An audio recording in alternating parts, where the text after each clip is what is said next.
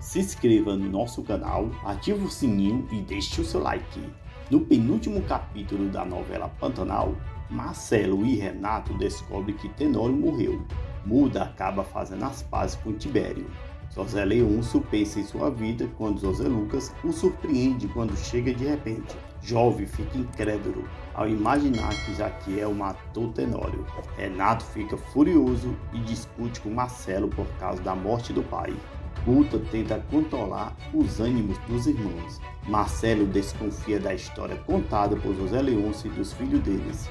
Ari avisa aos filhos de José Leôncio que o médico está aguardando a volta dele para fazer uma bateria de exames.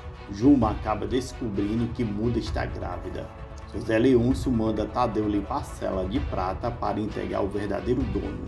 Zaquiel fica triste quando Tiber avisa que ele não acompanhará a comitiva. Feliz da vida, José Leôncio segue na comitiva. Renato promete que vai vingar a morte do pai e prepara uma arma. José Leôncio anuncia a disputa pela Cela de Prata.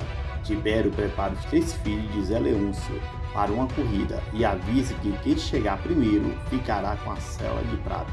Tibério pergunta se eles estão prontos. José Lucas anuncia que já nasceu pronto. Jovem revela que não nasceu pronto, mas agora está pronto. Tadeu fica calado. O berrante é tocado para o início da disputa. Jovem José Lucas saem na frente com seus cavalos. Tadeu fica parado e José Leôncio fica surpreso com a atitude do rapaz.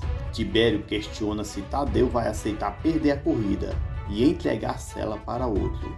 Tadeu anuncia que é ele quem vai ganhar. De repente, Tadeu dispara o seu cavalo em alta velocidade e ganha a corrida em segundos. Tadeu ultrapassa Jovem e em seguida José Lucas e ganha a corrida. Renato vai atrás do peão que matou seu pai. Renato aponta a arma para Zaqueu e o ameaça de matá-lo. Juma chega na hora e surpreende o filho de Tenório. Obrigado e até mais.